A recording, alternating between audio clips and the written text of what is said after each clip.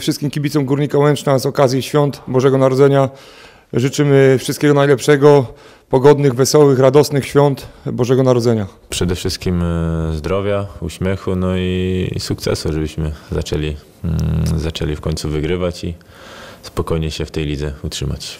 No i szczęśliwego nowego roku. wszystkim współpracownikom klubu, wszystkim e, chłopakom, kolegom i kibicom wszystkiego najlepszego z okazji zbliżających się świąt i życzę, żebyśmy nie mieli takiej nerwówki jak, e, jak w tamtym sezonie, tylko zapewnili sobie jak się uda tą ósemkę jak najszybciej, a jak nie, no to jak najszybciej utrzymanie.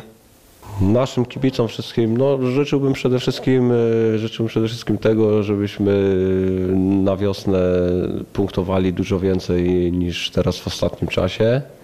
e, Żebyśmy spokojnie załapali się do, do górnej ósemki, co na pewno nie będzie łatwe, ale, ale życzyłbym wszystkim tutaj klubowi, wszystkim chłopakom, żeby, żeby tak się stało, żeby, żeby wiosna była dla nas przynajmniej tak dobra jak pierwsza część e, tej rundy jesiennej, tak?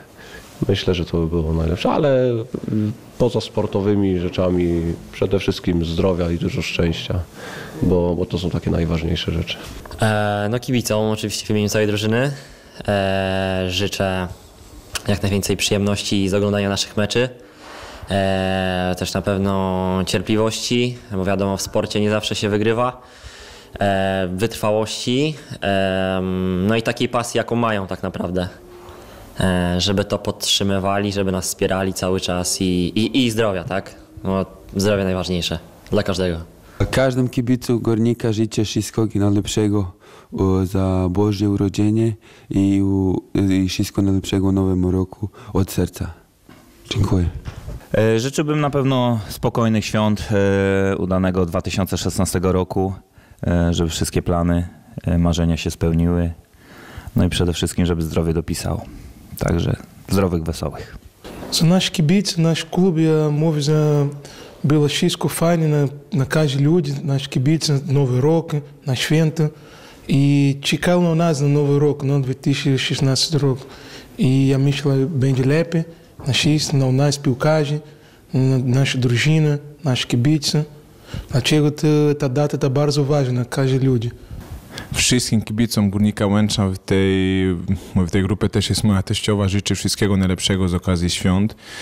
Dużo radości, szczęścia, dużo miłości w tym wszystkim, co się robi, dużo wzajemnej miłości pomiędzy, pomiędzy sobą i mówię, mam nadzieję, że szczególnie kibice Górnika Łęczna będą w następnym roku dużo bardziej zadowoleni z naszych wyników niż w tym obecnie. Mam nadzieję, że ten następny rok, jeżeli chodzi o samą piłkę, będzie, będzie dużo lepszy niż ten.